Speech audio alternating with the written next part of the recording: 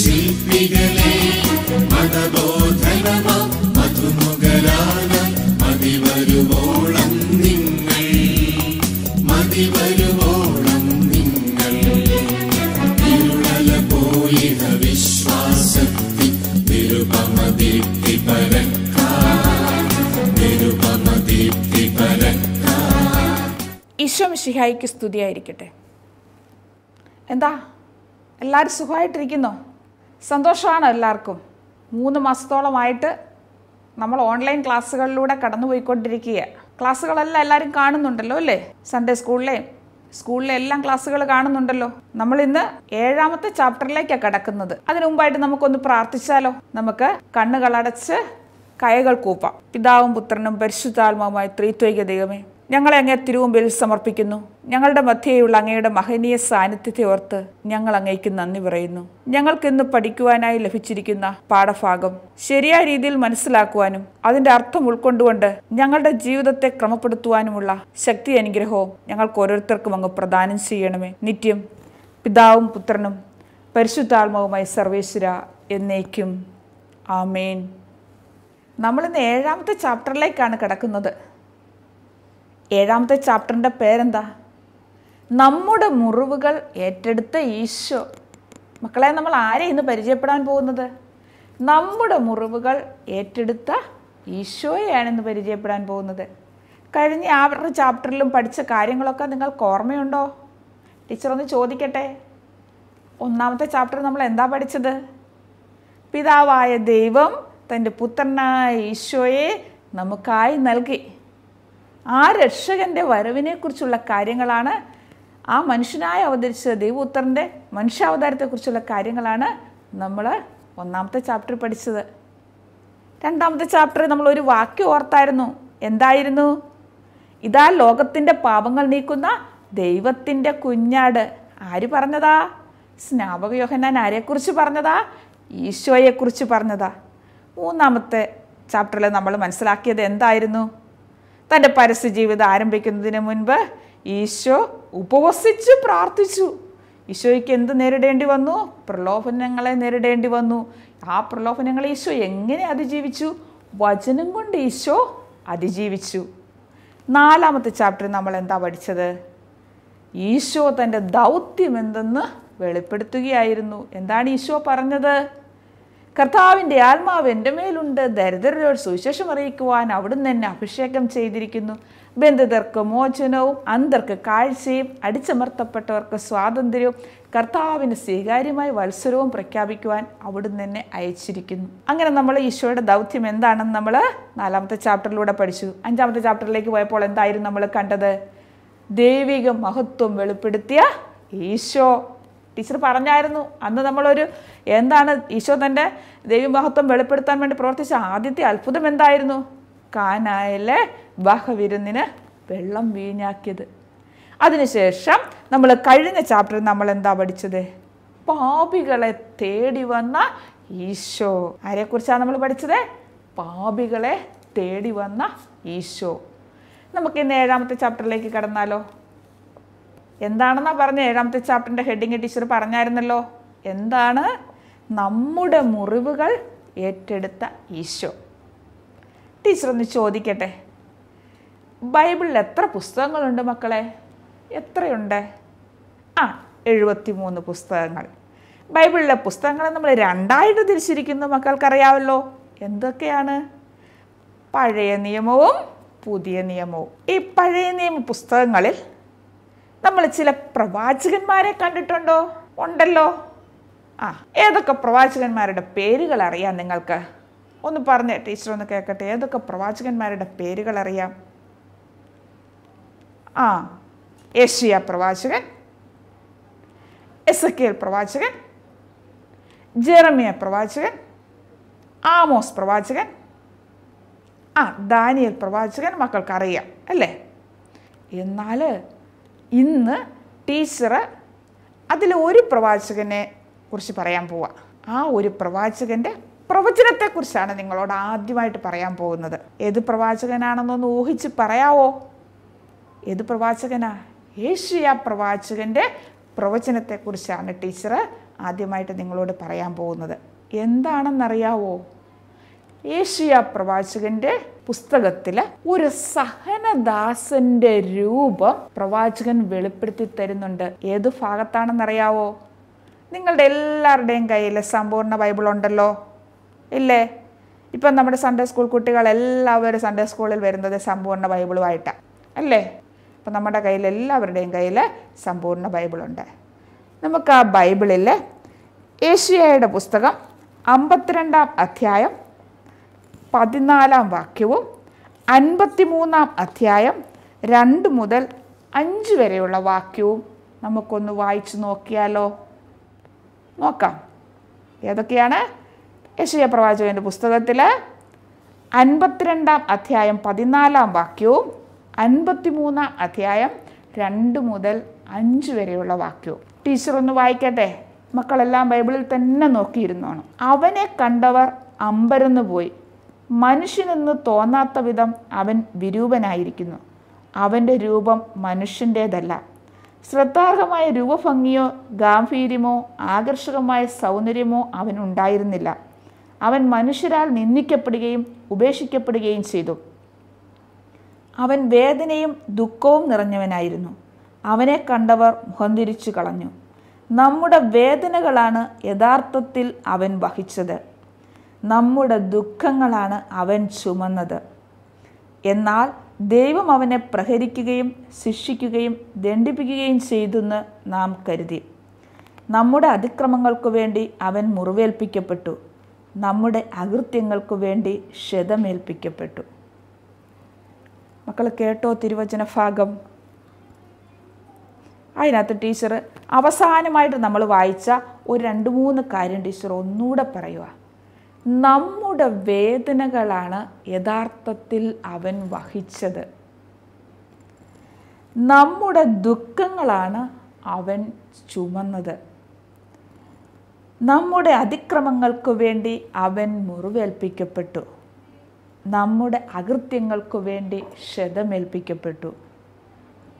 മക്കളെ ഒരു സഹനദാസന്റെ രൂപം ഏഷ്യ പ്രവാചകൻ പ്രവചിച്ചതാണിത്. ഏത് സഹനദാസനായിരിക്കാം നമ്മുടെ വേദനകൾ വഹിച്ച സഹനദാസൻ? നമ്മുടെ ദുഃഖങ്ങൾ ചുമന്ന സഹനദാസൻ? നമ്മുടെ അതിക്രമങ്ങൾക്ക് വേണ്ടി മുറിവേൽപ്പിക്കപ്പെട്ട സഹനദാസൻ? നമ്മുടെ അകൃത്യങ്ങൾക്ക് വേണ്ടി ക്ഷതമേൽപ്പിക്കപ്പെട്ട സഹനദാസൻ ആരാണ്? ആരായിരിക്കാം മക്കളെ?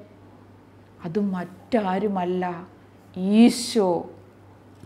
മക്കളൊന്ന് ഓർക്കണം. അതാ മറ്റാരുമല്ല ആരാണ്? ഈശോ. ഈശോ ജനിക്കുന്നതിന് നൂറ്റാണ്ടുകൾക്ക് മുൻപ് ഏഷ്യ പ്രവാചകൻ നടത്തിയ പ്രവചനമാണ്. നമ്മൾ കേട്ടിട്ടുള്ള കാര്യമാണ് പിതാവായ ദൈവം പൂർവ പിതാക്കന്മാരിലൂടെയും പ്രവാചകന്മാരിലൂടെയും സംസാരിച്ചു. ഇല്ലേ? പിതാവായ ദൈവം പൂർവപിതാക്കന്മാരിലൂടെയും പ്രവാചകന്മാരിലൂടെയും സംസാരിച്ചു. ഈശോ ജനിക്കുന്നതിന് നൂറ്റാണ്ടുകൾക്ക് മുൻപ് ഏഷ്യ പ്രവാചകൻ ആരെക്കുറിച്ച് പ്രവചിച്ചു? ഒരു സഹനദാസന്റെ രൂപം പ്രവചിച്ചു. അതാരായിരുന്നു? ഈശോ. എന്താ മക്കളെ ടീച്ചർ അവസാനമായിട്ട് ആ ബൈബിൾ ഭാഗത്ത് വായിച്ചത്? എന്തായിരുന്നു? അവൻ നമ്മുടെ വേദനകളാണ് യഥാർത്ഥത്തിൽ അവൻ വഹിച്ചത്. നമ്മുടെ ദുഃഖങ്ങളാണ് അവൻ ചുമന്നത്. നമ്മുടെ അതിക്രമങ്ങൾക്കു വേണ്ടി അവൻ മുറിവേൽപ്പിക്കപ്പെട്ടു. നമ്മുടെ അകൃത്യങ്ങൾക്കു വേണ്ടി അവൻ ക്ഷതമേൽപ്പിക്കപ്പെട്ടു. ഇല്ലേ? അതേ മക്കളെ ഈശോ നമ്മുടെ പാപത്തിന് പരിഹാരമായി ഈശോ ബലിയായി സ്വയം സമർപ്പിച്ചു. എന്താ ചെയ്തത്? നമ്മുടെ പാപങ്ങൾക്ക് പരിഹാരമായി ഈശോ ബലിയായി സ്വയം സമർപ്പിച്ചു. എന്താ മക്കളെ നമുക്കൊന്നുകൂടെ പറയാം. നമ്മുടെ പാപങ്ങൾക്ക് പരിഹാരമായി ഈശോ ബലിയായി സ്വയം സമർപ്പിച്ചു. എങ്ങനെയായിരുന്നു? ചെമ്മട്ടിയടിയേറ്റ ദേഹമാസകലം മുറിവേറ്റു. ഇല്ലേ? ശിരസിൽ മുൾമുടി അണിഞ്ഞു. കയ്യിൽ ഞാങ്ങണയുമെന്തി പരിഹാസപാത്രനായിട്ട് നീങ്ങുന്ന ഈശോയെ നമ്മൾ തിരുവചനത്തിൽ കാണുന്നുണ്ട്. ഇല്ലേ? എന്താണ്? നമ്മുടെ പാപങ്ങൾക്ക് പരിഹാരമായി ഈശോ സ്വയം ബലിയായി അർപ്പിച്ചു. ചമ്മട്ടിയടി കൊണ്ടുള്ള മുറിവുകളേറ്റു ഈശോയ്ക്ക്. ഇല്ലേ? ശിരസിൽ മുൾമുടി അണിഞ്ഞു. കയ്യിൽ ഞാങ്ങണയുമെന്തി എല്ലാവരും പരിഹസിക്കുന്ന ഒരു പരിഹാസപാത്രമായിട്ട് ഈശോ നിന്നുകൊടുത്തു. ആർക്കു വേണ്ടി? നമ്മുടെ പാപങ്ങൾക്ക് പരിഹാരമായിട്ട്. ഈ ഈശോയെയാണ് ഈശോ ജനിക്കുന്നതിന് നൂറ്റാണ്ടുകൾക്ക് മുൻപ് ആര് പ്രവചിച്ചത്? ഏഷ്യ പ്രവാചകൻ പ്രവചിച്ചത്. ഏഷ്യ പ്രവാചകൻ മാത്രമല്ല കേട്ടോ മക്കളെ. മറ്റ് പല പ്രവാചകന്മാരും ഈശോയുടെ വരവിനെക്കുറിച്ചും ഈശോ സഹിക്കാൻ പോകുന്ന പീഡകളെക്കുറിച്ചും ഈശോയുടെ മരണത്തെക്കുറിച്ചും ഒക്കെ പ്രവചിച്ചതായിട്ട് നമ്മുടെ പഴയ നിയമഭാഗത്ത് പറയുന്നുണ്ട്. ഇവിടെ നമ്മൾ ആരെയാണ് ഏത് പ്രവാചകന്റെ വാക്കുകളാണ് കണ്ടത്? യശയ പ്രവാചകന്റെ വാക്കുകൾ ഇനി ടീച്ചർ വേറൊരു കാര്യം കൂടെ പറയട്ടെ. ഈശോയ്ക്ക് അറിയാമായിരുന്നു ഏത് തരത്തിലുള്ള മരണമാണ് തനിക്ക് സംഭവിക്കാൻ പോകുന്നതെന്ന് ഈശോയ്ക്ക് അറിയാമായിരുന്നു എന്താ മക്കളെ? ഏത് തരത്തിലുള്ള മരണമാണ് തനിക്ക് സംഭവിക്കാൻ പോകുന്നതെന്ന് ആർക്ക് തന്നെ അറിയാമായിരുന്നു? ഈശോയ്ക്ക് അറിയാമായിരുന്നു ദൈവപിതാവിനാൽ നിയുക്തനായ സഹനദാസനാണ് താനെന്ന് ആര് മനസ്സിലാക്കിയിരുന്നു? ഈശോ മനസ്സിലാക്കിയിരുന്നു. ആരാണ്? ദൈവപിതാവിനാൽ നിയുക്തനായ സഹനദാസനാണ് താനെന്ന് ഈശോ മനസ്സിലാക്കിയിരുന്നു. ഈശോ അതിനെക്കുറിച്ച് മൂന്ന് പ്രവചനങ്ങൾ നടത്തുന്നതായിട്ട് നമ്മൾ ബൈബിളിൽ കാണുന്നുണ്ട്. ടീച്ചർ ഒരു കാര്യം ചോദിക്കട്ടെ? ഈശോ പറഞ്ഞ കാര്യങ്ങൾ ഈശോ സംസാരിച്ച കാര്യങ്ങളൊക്കെ നമ്മൾ ബൈബിളിൽ ഏത് ഭാഗത്താണ് കാണുന്നത്?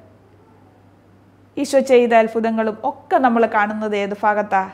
ബൈബിളിലെ പുതിയ നിയമത്തിൽ പുതിയ നിയമത്തിൽ നാല് സുവിശേഷങ്ങൾ നമ്മൾ കേട്ടിട്ടുണ്ടല്ലോ. ഏതൊക്കെയാണ് പേര് നിങ്ങൾക്ക് എല്ലാവർക്കും അറിയാം. ഏതൊക്കെയാണ്?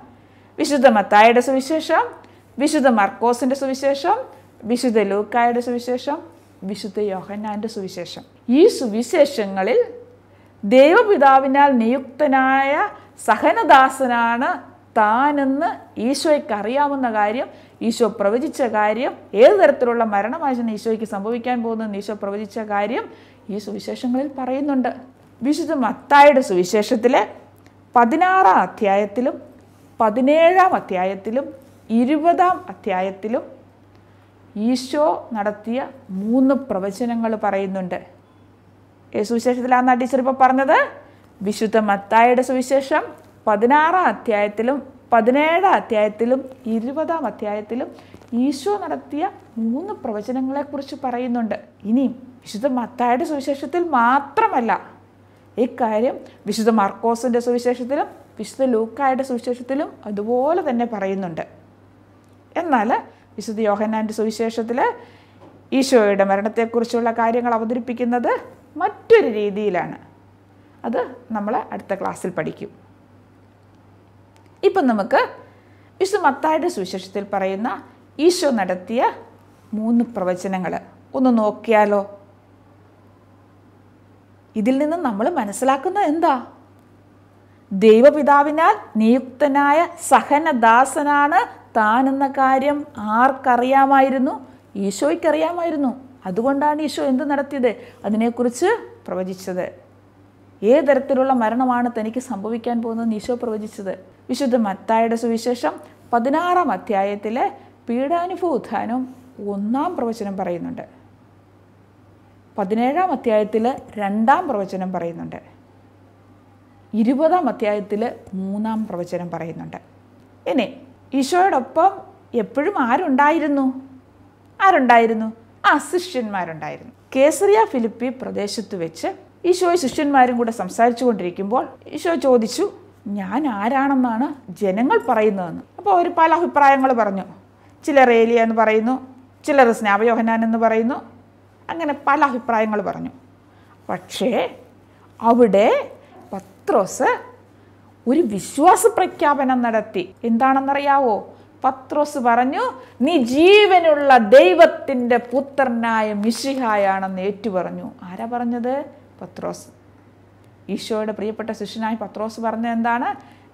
ഞാൻ ആരാണെന്നാണ് ജനങ്ങൾ പറയുന്നത്? ഇതെല്ലാം കഴിഞ്ഞ വെച്ച ശിഷ്യ ചോദിച്ചു ഞാൻ ആരാണെന്നാണ് നിങ്ങൾ പറയുന്നത്? അപ്പോൾ പത്രോസ് പറഞ്ഞു എന്താണ്? നീ ജീവനുള്ള ദൈവത്തിന്റെ പുത്രനായ മിശിഹായാണെന്ന്. പത്രോസിന്റെ ഈ വിശ്വാസ പ്രഖ്യാപനത്തിലൂടെ ഈശോ മനസ്സിലാക്കി താൻ ആരാണെന്ന് ശിഷ്യന്മാർ തിരിച്ചറിഞ്ഞിരിക്കുന്നു. എന്താണ്? ജീവനുള്ള ദൈവത്തിന്റെ പുത്രനായ മിശിഹായാണെന്ന് തിരിച്ചറിഞ്ഞിരിക്കുന്നു. അതേ തുടർന്ന് ഈശോ എന്തു പറഞ്ഞു? ഈശോ പറഞ്ഞു എന്തൊക്കെ കാര്യങ്ങളാണ്? നിങ്ങൾ ടെക്സ്റ്റിലേക്ക് നോക്കിയാൽ നമ്മുടെ നാൽപ്പത്തി ഏഴാമത്തെ പേജിൽ അതിനെക്കുറിച്ച് പറയുന്നുണ്ട്. ഈശോ എന്താണ് പ്രവചിച്ചത്? തനിക്ക് ജെറുസലേമിലേക്ക് പോകേണ്ടി വരുമെന്നും എന്തൊക്കെ കാര്യങ്ങളാണ്? തനിക്ക് ജെറുസലേമിലേക്ക് പോകേണ്ടി വരുമെന്നും ശ്രേഷ്ഠന്മാരിൽ നിന്നും പ്രധാന പുരോഹിതന്മാരിൽ നിന്നും നിയമജ്ഞരിൽ നിന്നും വളരെയേറെ സഹിക്കേണ്ടി വരുമെന്നും താൻ വധിക്കപ്പെടുമെന്നും മൂന്നാം നാൾ ഉയർത്തെഴുന്നേൽക്കുമെന്നും ഈശോ ശിഷ്യന്മാരെ അറിയിച്ചു. എന്തൊക്കെയാണ് ഈശോ ശിഷ്യന്മാരെ അറിയിച്ചത്? എന്താണ്? തനിക്ക് ജെറുസലേമിലേക്ക് പോകേണ്ടി വരുമെന്നും പ്രധാന പുരോഹിതന്മാരിൽ നിന്നും ശ്രേഷ്ഠന്മാരിൽ നിന്നും നിയമജ്ഞരിൽ നിന്നും വളരെയേറെ സഹിക്കേണ്ടി വരുമെന്നും താൻ വധിക്കപ്പെടുമെന്നും മൂന്നാം ദിവസം ഉയർത്തെഴുന്നേൽക്കുമെന്നും ഈശോ ശിഷ്യന്മാരെ അറിയിച്ചു. അപ്പോൾ ഈശോ മുൻകൂട്ടി അറിഞ്ഞിരുന്നു ദൈവപിതാവിനാൽ നിയുക്തനായ സഹനദാസനാണ് താനെന്ന് ആർക്കറിയാമായിരുന്നു. ഈശോയ്ക്ക് അറിയാമായിരുന്നു അതാണ് നമ്മൾ പീഡാനുഭൂതാനവും ഒന്നാം പ്രവചനം രണ്ടാം പ്രവചനം മൂന്നാം പ്രവചനത്തിലൂടെ നമ്മൾ കാണുന്നത് ഈശോയ്ക്ക് അറിയാമായിരുന്നു എന്തറിയാമായിരുന്നു ഈശോയ്ക്ക്? എന്റെ പിതാവിന്റെ ഇഷ്ടം നിറവേറ്റുകയാണ് എന്റെ കടമ. വേറെ ഒന്നും അതിനേക്കാൾ വലുതല്ല. എത്ര വലിയ ഭക്ഷണം കിട്ടിയാലും എന്തെല്ലാം കിട്ടിയാലും അതെല്ലാം ഈശോയ്ക്ക് പ്രലോഭനങ്ങൾ ഉണ്ടായപ്പോൾ ഈശോ എന്ത് ചെയ്തു? സത്തനെ ദൂരെ പോകാൻ ഈശോ പറഞ്ഞത്. ഇല്ലേ? എന്തെല്ലാം ഈശോയ്ക്ക് കാണിച്ചു കൊടുത്തു. ഇതെല്ലാം തരാമെന്ന് പറഞ്ഞു. ഒന്ന് ആരാധിച്ചാൽ മതിയെന്ന് പറഞ്ഞു. ഈശോ വഴങ്ങിയായിരുന്നോ? ഇല്ല. ഈശോ വചനം കൊണ്ടെല്ലാം അതിനെ അതിജീവിച്ചു. അപ്പം ഈശോയ്ക്ക് അറിയാമായിരുന്നു. ദേവപിതാവിനാൽ നിയുക്തനായ സഹനദാസനാണ് താനെന്ന്.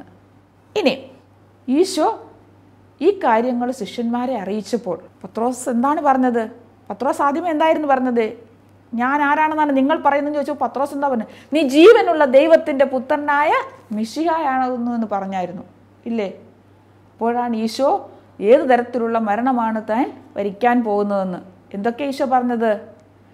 ജെറുസലേമിലേക്ക് പോകേണ്ടി വരുമെന്ന് പ്രധാന പുരോഹിതന്മാരിൽ നിന്നും നിയമജ്ഞരിൽ നിന്നും ശ്രേഷ്ഠന്മാരിൽ നിന്നും വളരെയേറെ സഹിക്കേണ്ടി വരുമെന്നും താൻ വധിക്കപ്പെടുമെന്നും മൂന്നാം ദിവസം ഉയർത്തെഴുന്നേൽക്കുമെന്ന് ഈശോ ശിഷ്യന്മാരെ അറിയിച്ചു. ഇത് കേട്ടപ്പോൾ പത്രോസിന് സഹിക്കാൻ പറ്റിയില്ല. പത്രോസ് ഉടനെ പറഞ്ഞു ഈശോയോട് പറഞ്ഞു കർത്താവ് ഇത് നിനക്ക് സംഭവിക്കാതിരിക്കട്ടെ. തന്റെ ഗുരു ഈ വിധത്തിലുള്ള മരണം വരിക്കുന്നുവെന്ന് കണ്ടപ്പോൾ കേട്ടപ്പോൾ പത്രോസിന് സഹിക്കാൻ പറ്റിയില്ല. എന്ന് പറഞ്ഞു? കർത്താവ് ഇത് നിനക്ക് സംഭവിക്കാതിരിക്കട്ടെ എന്ന് പത്രോസ് പറഞ്ഞു. അപ്പോൾ ഈശോ എന്താ ചെയ്തെന്നറിയാ ഈശോ പത്രോസിനൊരു ശാസന കൊടുത്തു. എന്താണെന്നറിയണ്ടേ?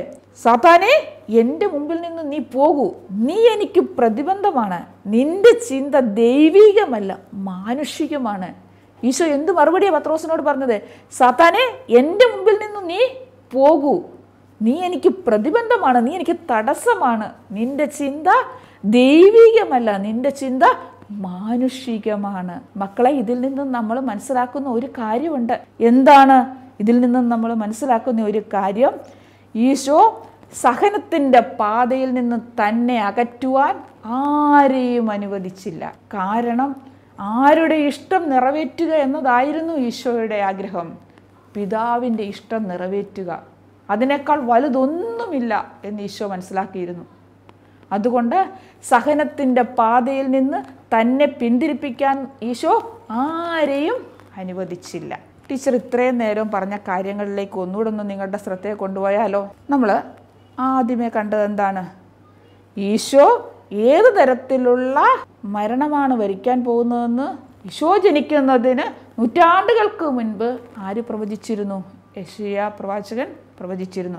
ടീച്ചർ പറഞ്ഞിരുന്നു യഷിയ പ്രവാചകന്റെ പുസ്തകത്തിൽ മാത്രമല്ല മറ്റു പല പ്രവാചകന്മാരും ഇതിനെക്കുറിച്ച് പ്രവചിച്ചിട്ടുണ്ട്. ഇവിടെ നമ്മൾ കണ്ടത് ആരുടെ വാക്കുകളാണ്? യഷിയ പ്രവാചകന്റെ വാക്കുകൾ എന്തൊക്കെയായിരുന്നു ടീച്ചർ അവസാനം പറഞ്ഞായിരുന്നു? ബൈബിൾ വായിച്ചപ്പോൾ അവസാനമായിട്ട് വായിച്ചായിരുന്നു. നമ്മുടെ വേദനകളാണ് അവൻ വഹിച്ചത്. നമ്മുടെ ദുഃഖങ്ങളാണവൻ ചുമന്നത്. നമ്മുടെ അതിക്രമങ്ങൾക്ക് വേണ്ടി അവൻ മുറിവേൽപ്പിക്കപ്പെട്ടു. നമ്മുടെ അകൃത്യങ്ങൾക്ക് വേണ്ടി അവൻ ക്ഷതമേൽപ്പിക്കപ്പെട്ടു. ഇല്ലേ? ഈശോ അങ്ങനെ ഒരു സഹനദാസനെക്കുറിച്ച് ആര് പ്രവചിച്ചിരുന്നു? യശയാ പ്രവാചകൻ പ്രവചിച്ചിരുന്നു.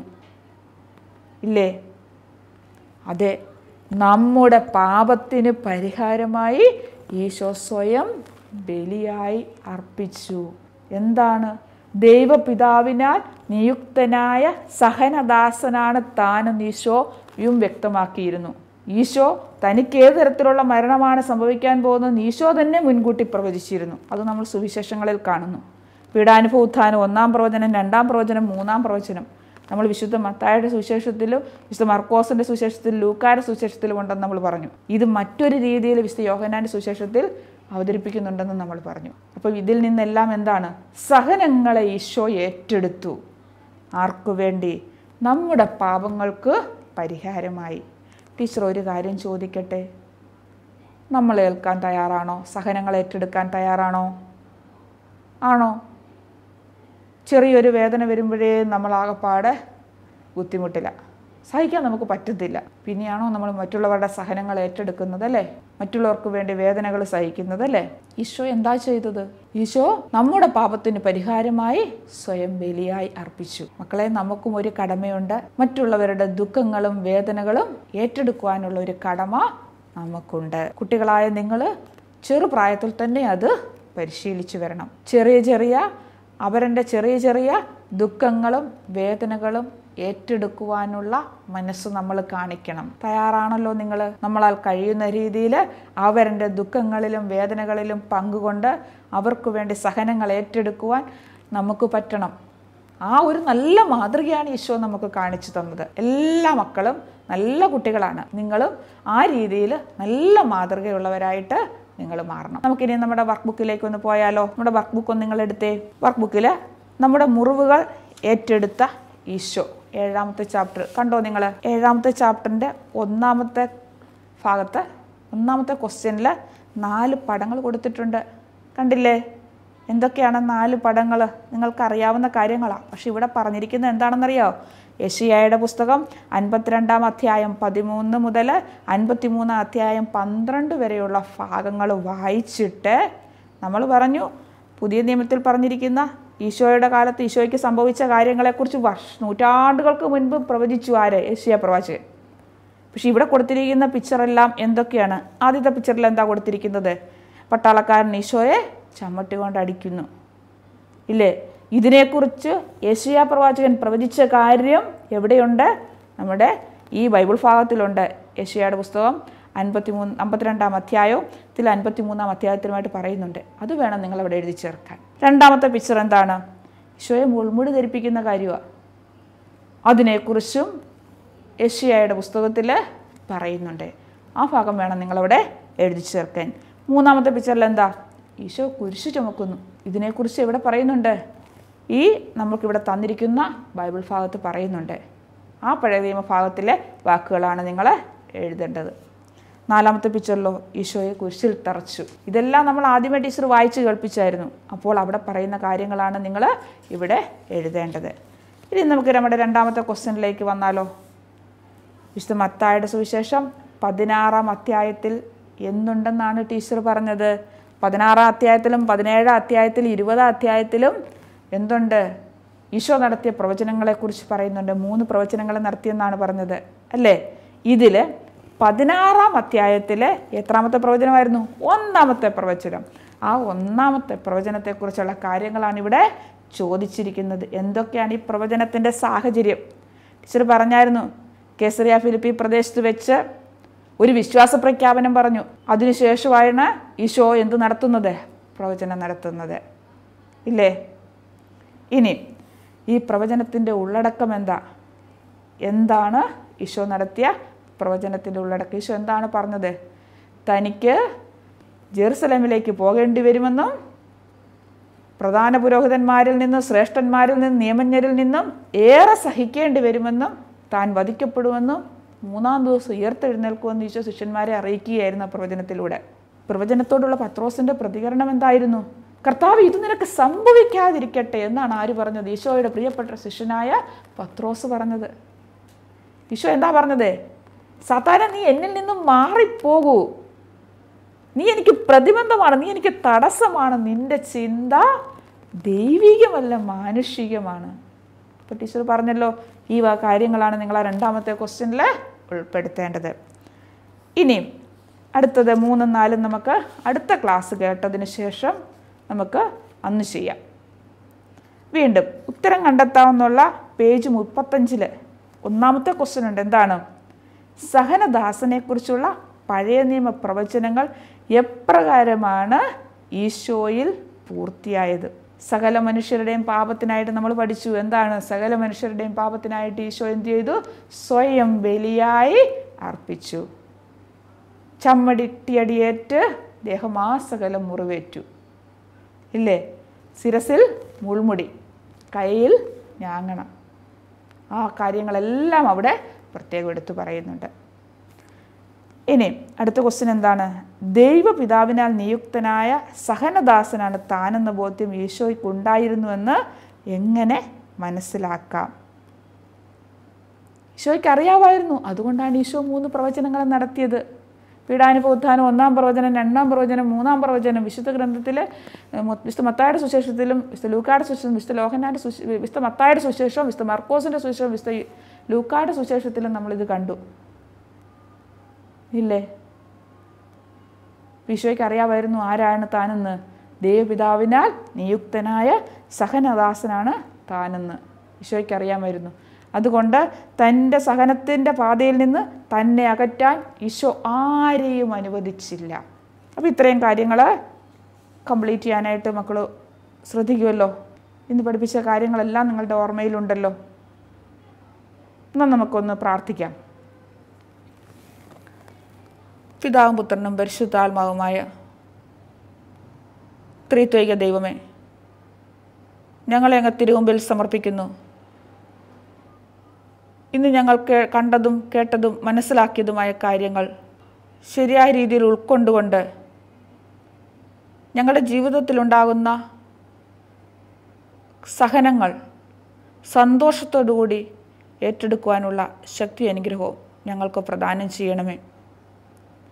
അവരന്റെ ദുഃഖങ്ങളിലും ബുദ്ധിമുട്ടുകളിലും ഈ ചെറുപ്രായത്തിൽ തന്നെ അവർക്ക് താങ്ങായി മാറിക്കൊണ്ട് ഞങ്ങളുടെ ഭാവി ജീവിതത്തിൽ അവരിനു വേണ്ടി ശുശ്രൂഷ ചെയ്യുന്ന സഹനത്തിന്റെ മനോഭാവമുള്ള നല്ല കുട്ടികളായിട്ട് ഞങ്ങൾ വളർന്നു വരുവാനുള്ള കൃപയും അനുഗ്രഹവും ഞങ്ങൾക്ക് പ്രദാനം ചെയ്യണമേ.